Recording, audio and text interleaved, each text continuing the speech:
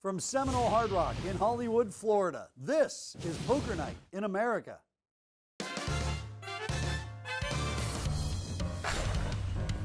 Hello and welcome to Poker Night in America. I'm Chris Hansen alongside Joe Stapleton. Tonight we're at Seminole Hard Rock in sunny Hollywood, Florida. On tonight's table, we play 100 200 with an optional straddle, and something tells me that these players have been stretching out the hip flexors. Five of our seven players have bought in for 50,000, except for a player who's known as GI. Well, he's in for 110. And of course, we have the Carson Daly of YouTube Poker. It's Doug Polk who brings 200,000 to the table.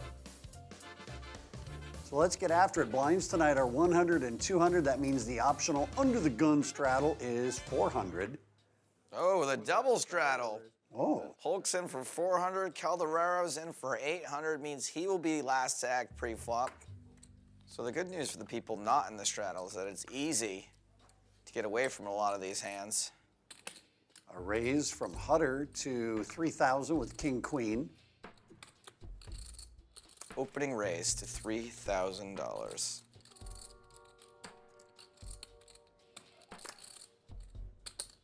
Polk calls 2,600 with ace nine. And Calderaro has to fold his straddle. He's out. All right, so here we go. Heads up with Hutter and Polk. The flop is 8 4 King. Very good flop for king queen. And here we go with 3,500 the bet. Most hands that have you beat here, like king four and eight four, they would have folded pre-flop. Other hands that have you beat, like ace king or pocket kings, but a three bet you pre-flop. It's a very safe board for king queen. Call from Polk.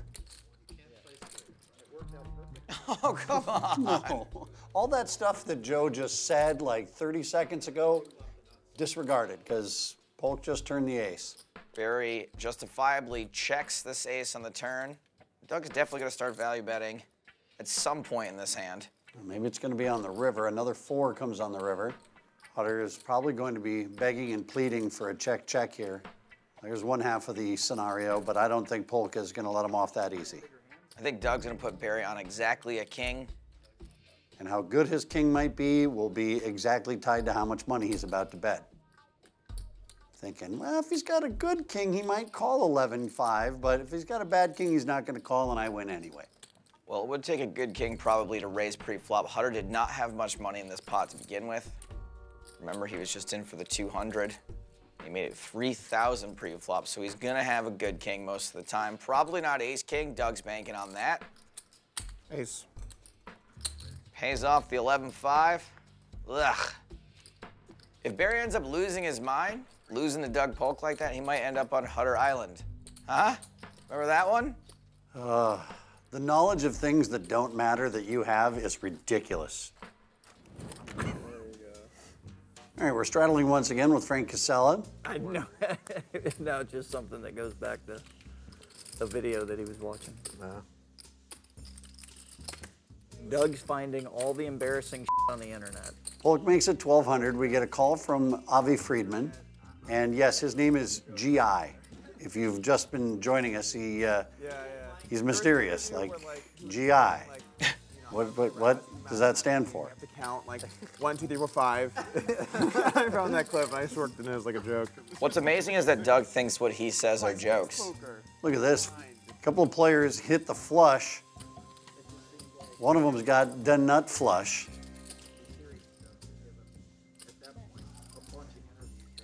Another ridiculous cooler here on Poker Night in America. More ridiculous coolers than the Igloo Outlet Store. It was definitely something to say. I mean, I enjoyed it. I'm glad you said it. So the two flushes have found each other here going to the turn. And the better flush checks. The inferior flush bets 3,800. Freedman's got the nut flush with the redraw to the royal flush. It's now 12,000. I believe Frank Casella was at least married at some point, if not currently, so this won't be the first time he's gonna drop five figures on some diamonds. I'm all in. I call. Okay, well, there we go. Up to $66,000 now in the pot. And Casella drawing deed. We can do a river and an ocean. A river and an ocean. No wonder they call diamonds ice, because this hand is a cooler. Good night, everybody. We've still got a lot more show. Please don't leave, Joe. Ah, the Freedman. There's a reason why he's the CEO of Kentik, which brings a modern, scalable, and SaaS approach to terabit scale visibility into network availability, efficiency, attacks, and performance. Give us money.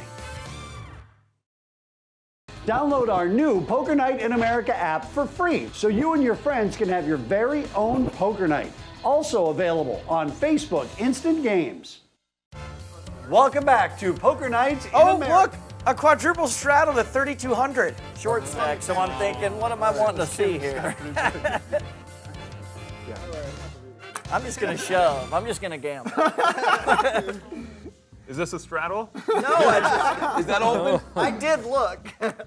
Just your classic 1, 2, 4, 8, 16, 32. It's normal. This is this is how it's like when I play. How much is that? Frank's got aces. That's good, but he doesn't have that many chips. That's bad. I mean, even shoving with 12K, even if you just pick up all the straddles and the blinds, that's a that's a great win. There's a lot of money in this pot. That's good. But there's also a lot of people in this hand who don't like folding pre-flop. That's bad. Doug Polk going nowhere. He's in with King Queen. Calderaro's out. Looks like Kane Kalas has literally just come back from the bank. And what about GI? He's a fella that don't like to fold either. I think you're a hundred off. Oh, he's got too much. Yeah. All right, so Casella's got all the money in. We will have a side pot that could develop between Polk and GI. What a dream scenario for Casella. He is a near statistical lock to win this hand. 1% equity for each of his opponents. That straddle won't do much for the game, does it? Oh, my. Oh, oh, Oh, I don't. gee. What is the verbal equivalent of mashing the keyboard? That's what I want to do right now. How does that happen? GI's bet $40,000 on this flop. No way Doug can fold. We know there is no way that he and GI will not chop this pot as long as he doesn't fold. Doug calls. Main pot's got 41,000, side pot's got 80,000 in it, We got a we got a Lexus on the side. Oli. and GI has put all the chips in the middle. Doug's called. You're not good. There is almost a quarter of a million dollars in this pot. And Casella just can't believe his luck. I mean, that's that's just that's not supposed to happen. All right, here comes the river. It's a ten of hearts. Casella's out, and Polk and GI will chop it up. And then this this is chopped in half. Frank, you're you're running great today, man. you're doing great. You're doing great things. Hey everyone, just a quick reminder that we're running a contest through April in our app to win a seat on our show. One lucky winner gets to join us in Pittsburgh on May 20th at the Rivers Casino. So drop what you're doing, download the app, and register for your chance to win today. Already getting your stack ready. Let's just. All right, we're playing some 1, 2, 4, 8, 16, 32, 64. Classic game, guys. Classic. And the funny thing is, there's only. I wish I could call. Double check. By the way, the stakes just uh, 32x. This is a good hand to run good in. This, if you run good here, you probably don't have to pick up anything else for the rest of the session. Whew. All right. Wow. Big action. Think Probably, about this. probably can't call you.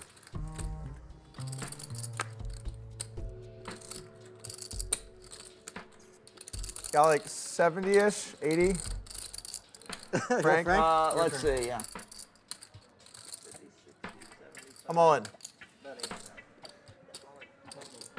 Now this is poker. This is sweet. This is poker. Will this make YouTube? this is awesome. If he has aces or kings, it's gonna be so If he calls, it'll make me. Why, you got queens? Sure. Yeah, I got queens. yeah, I got queens. Yeah, if you got jacks, I'd just let him go. it's, it's pretty close to a call. It's pretty close to a call. Halfway right now.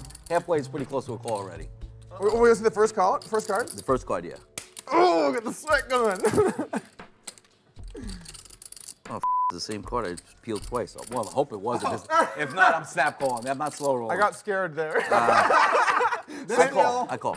Oh. oh my god, what? Oh my god, unbelievable. Unbelievable. Is that suited? Calderaro is 60% favorite to double up through Doug Polk. Oh my god. All right, here we go. The flop is 4, 10, queen. What? I think it's more drama. Oh, the devastation's looming. The devastation's right around the corner. 76% chance now that Doug Feltz Calderaro make that 85%. Wow. Jack, Daddy-O.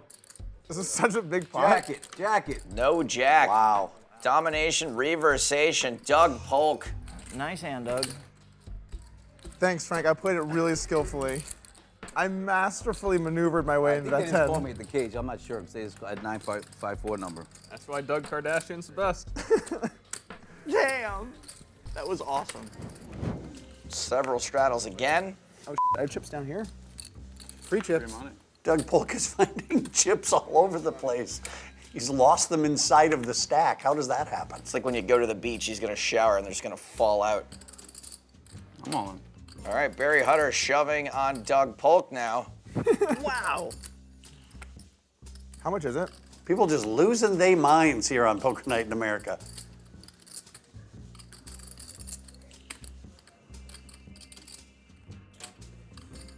Wow. Could I run worse? Was that a real tank? Yeah. You'll know what I, I'll say what I, what I had up, hand. You think I would just time bank there for no reason? No, no, no. But I mean, like, I don't know. I'll say, what- I'll say, I'll say what I had. Yeah, no, I understand. Freedman calls with a suited ace. And it's a worse hand than Doug folded. What? Again, people have lost their minds here on Poker Night in America. I guess Freedman only had 27-4 behind. You can do it again. We're going once or twice. I don't care. That's twice. Twice is good. Two, full boards. All right, so here we go. Let's see the flop. It's 7 3 Jack. Seven and a jack. Good flop. All right, well. King on the turn means Freedman is drawing dead. And the dominating hand holds, but they are running it twice. One more board for the other half of the pot. 10 10 King. Second flop. Gut shot. Things are just not going Freedman's way here. There was the seven. Oh. Seven on both boards. Could have got half your 800 back. If you can get angry about Freedman's going to lose it all. if you can get angry about running bad here because I hit my seven on the second run, you can get angry about anything. Legitimately anything. wow. These guys are playing like the world is ending, and I absolutely love it. The world is ending, Chris, moment by moment, generation by generation. The world is ending. But yeah, this table is absolutely amazing. Five stars that, much like the sun, will eventually die out. Welcome back to the greatest show on earth. Family Double Dare? No, our show, Joe. This one, you know, with the huge pots and the massive straddles. This show. I feel like your family would totally be on Family Double Dare. If you like big pots, you are in the right location here as Poker Night in America's uh, a big game going on tonight. Normally 25-50, but tonight 100, 200. Okay, 20k yellow, 10k um, purple, and 5k black.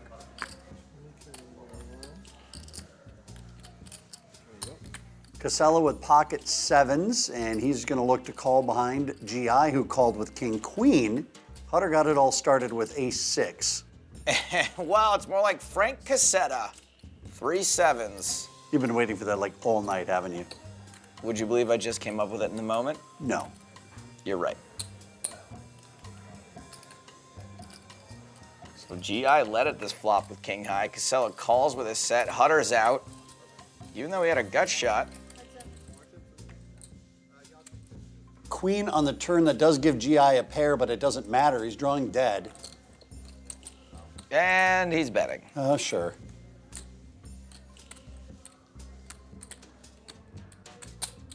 There's the raise from Casella. When Frank stacks him here, I bet he's gonna be so salty we can start calling him MSGI. yeah i know you're real good GI calls. His stack is shrinking as every card comes out. And here's a three of hearts on the river, and GI's first. At least it wasn't a king or a queen. Oh, he checks. Actions on Casella. By the way, I just want you to know, like, I'm, I'm in here gambling and drinking and, like, you know, I'm trying to, like, I love it. sometimes, though, when stakes get that big, it feels get stacked. And with top pair, GI pays it off. This week at the Seminole Hard Rock, GI's been set over setted twice. Now it's a set against top pair. Guy's not exactly running hot, although he could learn to find the fold button once in a while. Welcome to poker night. What are we all going to Council Oak? That's where they're they're bringing the food in here. So they It's just possible I've had one just to give them enough time to get it here by seven. All right, here we go. Doug Polk raises with 8 5 of clubs. Calderaro re raises to 2K. He gets a call from Freedman.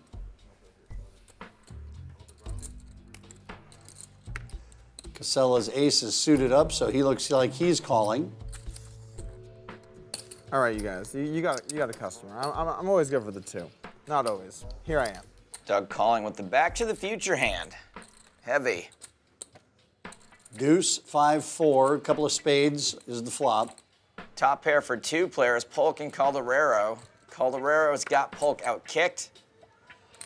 Straight draw for Casella. Do the uh, lobster bisque, the shrimp cocktail. You buying for 50? 50? 50 even. Thank you. Lobster bisque and shrimp cocktail. That's aggressive sea play there. He is very shellfish. I mean, I gave her. I tipped her well for. We'll a make sure, of we'll make sure. So, yeah, I gave the girl a bunch last I, night. Just yeah, because yeah. they make them You gave her you gave her way too much last night. Look at that. Three on the turn would have given Casella the straight, but he's folded on the flop. And it's Calderaro who's got one now.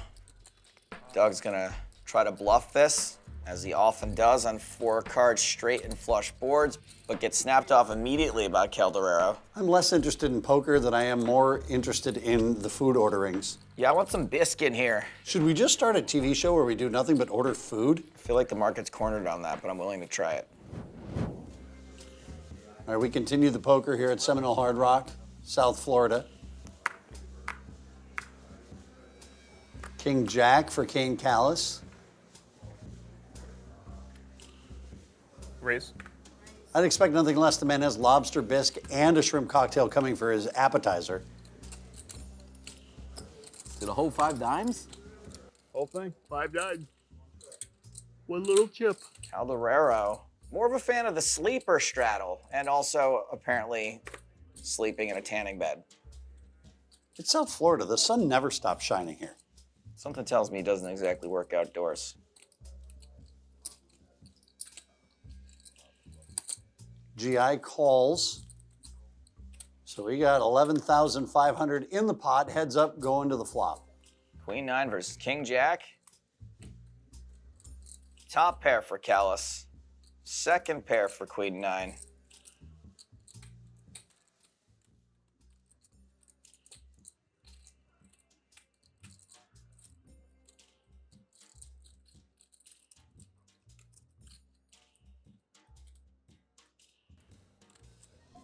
Seventy-five hundred the bet from Kalas.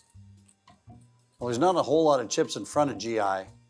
Those are 5K chips. Looks like he's got about 50K left behind still. Compared to the rest of the table, though, no, not a ton of chips.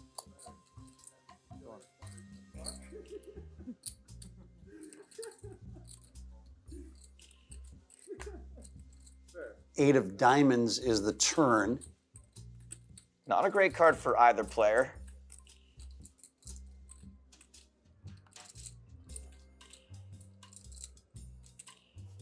They both check. So here comes the river. Another eight. So neither player improves, but the board doesn't get much worse for either player. Kane's trying to decide how thin this spot is for value. Me personally, I like a nice thin shaved piece of value bet. There's nowhere for the flavor to hide. 18,000 is the bet from Kalas. And I gotta give Kane Kalas a lot of credit. He always seems to know exactly where he's at in the hand. It's like he has hand GPS.